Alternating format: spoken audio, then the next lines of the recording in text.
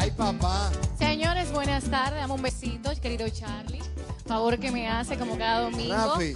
Con ese saludo tan afectuoso que me das, que me pones mona, con parón y contenta. Cuando yo veo a Angie, me doy cuenta que no todas son iguales. Preparado para todos ustedes. Ahí va, eso. Me encanta ese color, ¿eh?